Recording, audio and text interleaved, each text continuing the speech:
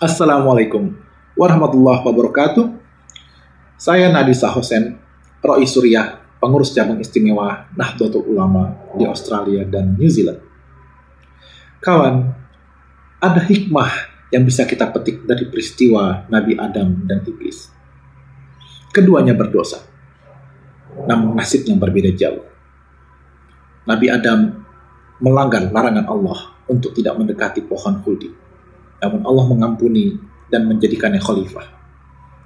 Iblis sebaliknya menolak perintah Allah bersujud kepada Nabi Adam, namun ia dikutuk sampai akhir zaman. Kenapa kedua pihak yang sama-sama berdosa ini nasibnya berbeda jauh?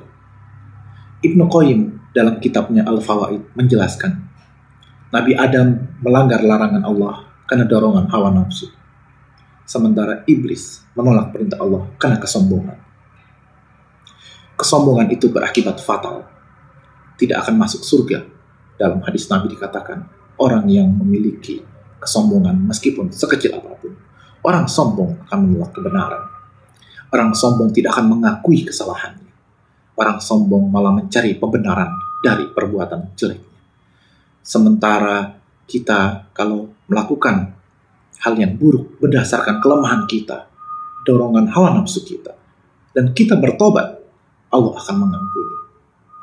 Itulah sebabnya Ib, dalam kitab Al-Hikam, Ibnu Athaillah mengatakan, kemaksiatan yang melahirkan penyesalan dan rasa hina dina itu lebih baik ketimbang ibadah yang melahirkan rasa sombong.